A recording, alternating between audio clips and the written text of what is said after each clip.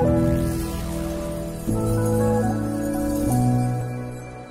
welcome to a Mircom Minute. Today we're going to be looking at our MIX 4090, our programming utility tool. I'm going to just take it out of the box. So here we have the programming tool. On the back here is where we'd insert or place our Mircom MGC type devices.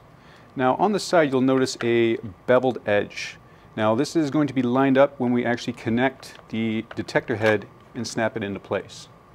After which we can hit the green checkmark button to be able to turn on the system.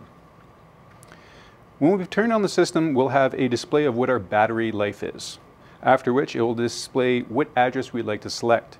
We can use the up or down cursors to select any address type we choose.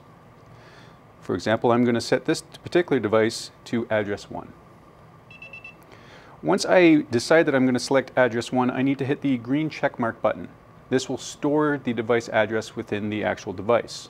After which, and it gives me the message that device address has been stored, I can then disconnect the detector. So if we wanted to program one of our other modules, rather than the mini mod, here I have a MIX 4060.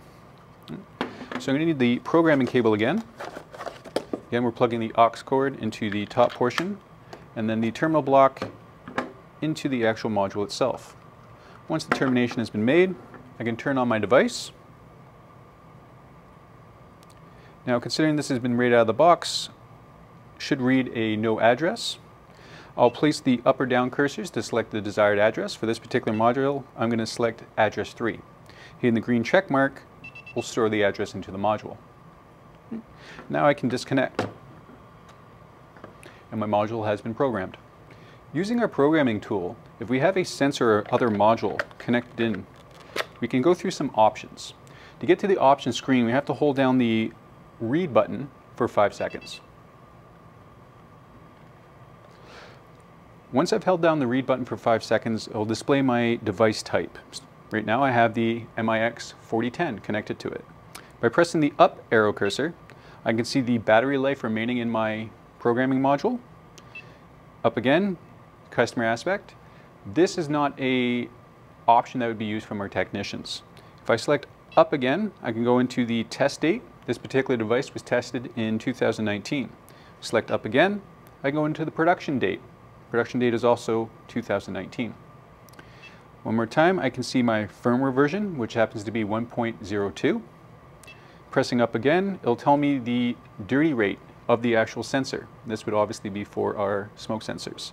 Right now, this particular device is at a 8% dirty obscuration rate.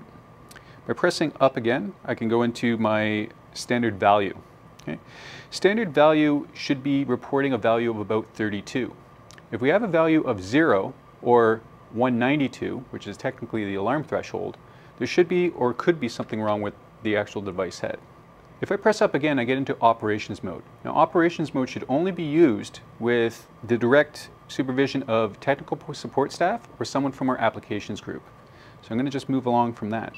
Press up again, we see the series type, which happens to be Mircom.